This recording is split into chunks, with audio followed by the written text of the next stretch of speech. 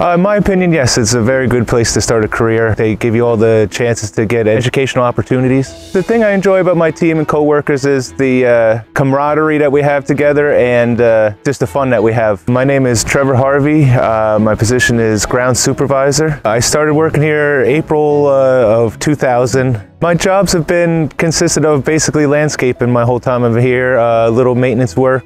I've worked inside in the maintenance department, but mostly all outside landscaping.